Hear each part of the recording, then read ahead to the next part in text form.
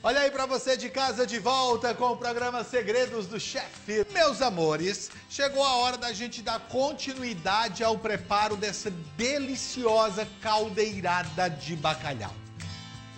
Eu, na verdade, queria que a TV evoluísse em um ponto. Já tem som e imagem, não tem? Tivesse cheiro.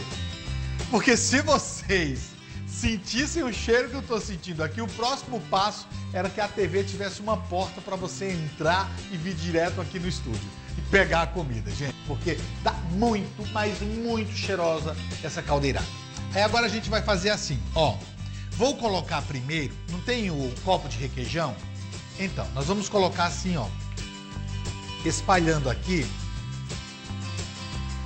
colheradas, né? De requeijão, tá? Pronto. Deixa ele aqui espalhadinho assim.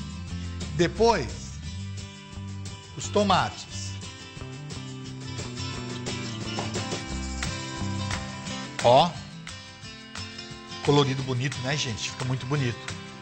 E agora, eu vou colocar o leite de coco. Aqui, gente, é uma garrafa daquela maior tem a garrafa buchudinha pequenininha do leite de coco? E tem a grandinha, né? Que é essa que tem 500 ml de leite de coco. É esse leite de coco que você vai usar, não vai usar mais.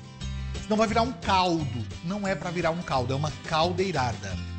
Depois a gente solta meio assim aqui por baixo para ver que o leite de coco tá, né, pegando em todos os ingredientes, né, já vai amolecendo aqui o requeijão. Nossa, incrível. Você quer ver o que a gente fez para chegar até esse ponto aqui? Um refogado simples e maravilhoso. Roda aí, Edu!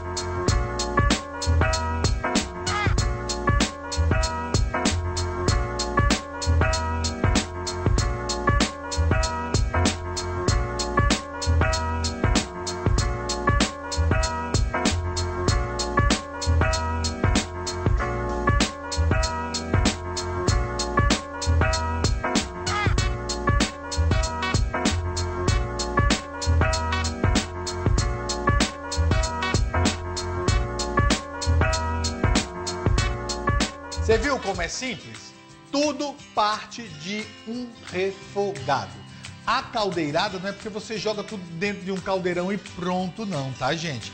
É o tipo do ensopado, né? E principalmente caldeirada sem leite de coco não existe. Então a presença do leite de coco é muito importante. E aí tem uma outra coisa. A gente tá de reeducação alimentar, é complicado.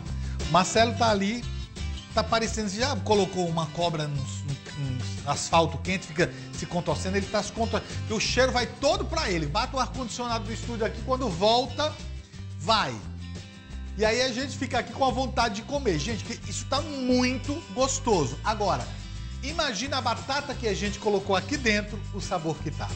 E fora isso, presta atenção uma coisa. Olha a quantidade que rendeu meio quilo apenas de bacalhau. Olha isso aqui, gente. É ou não é um prato econômico e extraordinariamente gostoso para você fazer em casa para sua família? Gosta de bacalhau? Faz.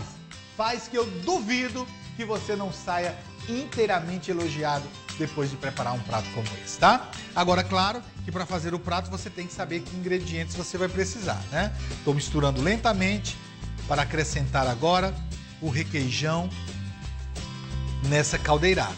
Olha isso.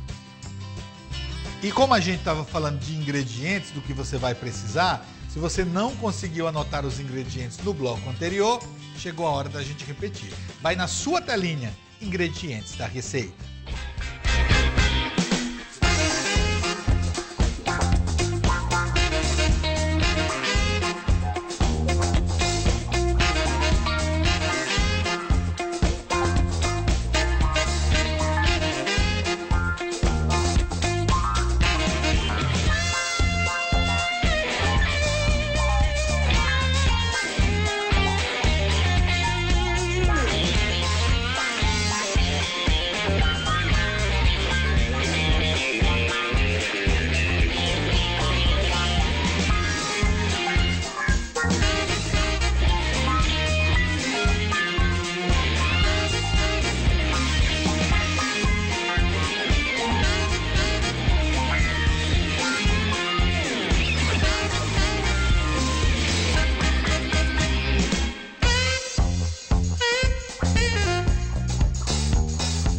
Agora que você já anotou todos os ingredientes, eu esqueci, né, gente? Dizer depois que a gente coloca o leite de coco, cozinha por 5 minutinhos, tá? Que é pra harmonizar todos os sabores. E a gente fica assim, ó. Fica mexendo não, ó.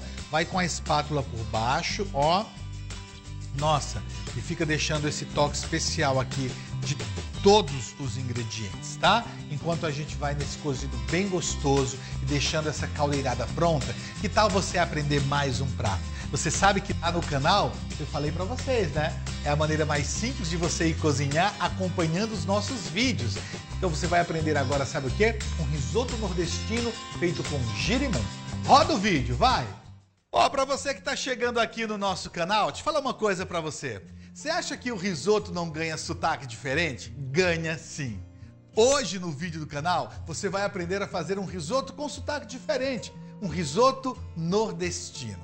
Gente, se eu fosse você, pegava logo o caderninho de receita e a caneta. Ah, mas antes de tudo, se inscreve aqui no nosso canal, tá bom? Aproveita e clica aqui no sininho do lado, que é para ativar as notificações e, obviamente, se você quer acompanhar outros vídeos, ó, aqui na inscrição aqui em cima você vai ter vários vídeos legais aqui do canal para que você possa acompanhar também, porque agora você vai aprender a fazer um risoto nordestino. Vamos lá! Nós vamos colocar uma colher só na panela do girimum aqui. O resto, a gente vai deixar aqui, ó, derretendo. Derreteu a manteiga, aí a gente vem aqui, ó, põe o purê. E junto com o purê de girimum, eu vou colocar primeiro o creme de leite, tá? Salsinha picada e a cebolinha picada. E nós vamos cozinhar mexendo de vez em quando para apurar por 5 minutinhos. Nós vamos acrescentar o queijo ralado, os tomates picados, continua cozinhando.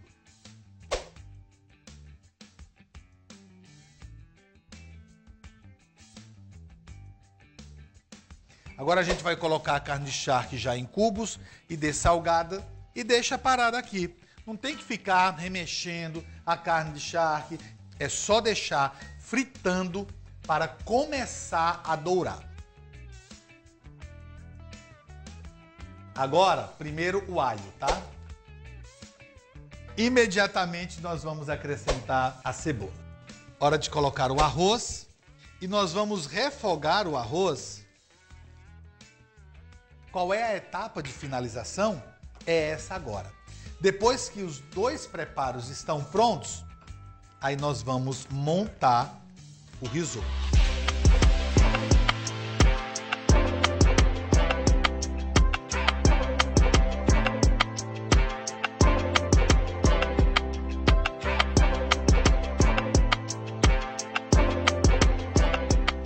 Não falei para você que o risoto não só tinha sotaque italiano, tem sotaque nordestino também. Gostou da ideia do girimum, da carne de charque tudo isso? Pois é, para você que ama ir para cozinha cozinhar, é sempre bom aproveitar receitas diferentes, tá? E por falar em receitas diferentes, não esquece de dar like nos nossos vídeos e compartilhar nas suas redes sociais. O mais, a gente pega uma passagem e se encontra no próximo vídeo. Até lá!